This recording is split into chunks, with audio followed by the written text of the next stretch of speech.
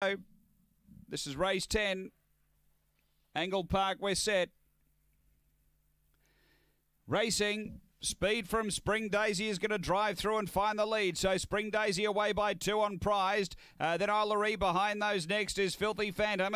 Uh, next Woodside King, Iceni Rival. Then we've got Luke Tyson and Raglan Mo. They race to the bend. Front runner Spring Daisy out a length and a half on prized. And then Woodside King, Spring Daisy in front of prized. And Spring Daisy beats prized. Third home Woodside King. Fourth Filthy Phantom.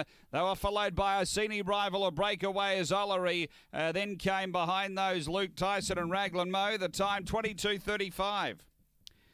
Race number 10. Numbers are 2, 1 and 8. 2, 1, 8. Three is fourth. Spring Daisy, Gregory Board for the Board Racing Syndicate, managed by G Board, a blank bitch, May 2016. Uh, Magic Sprite, Springleaf, number two. Second going to one prized, Jen Jones, a white and black dog, February 2015, Banjo Boys Are Day. And eight Woodside King Graham Smith, a black dog, November 2015, Magic Sprite Hannah's Jinx.